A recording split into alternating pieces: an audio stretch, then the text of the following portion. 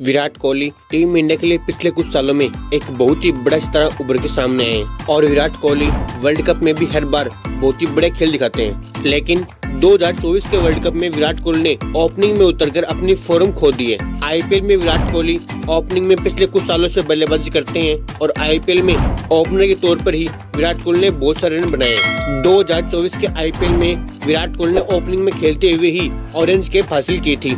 और इसके बाद यह फैसला लिया गया कि विराट कोहली ओपनिंग में बल्लेबाजी कर सकते हैं। और इसके बाद विराट कोहली को ओपनिंग में उतारा गया। लेकिन विराट कोहली ने पिछले तीन मैचों में लगभग पाँच से छह रन बनाए हैं और ओपनिंग में आने के बाद विराट कोहली ने अपनी फॉर्म खो दी।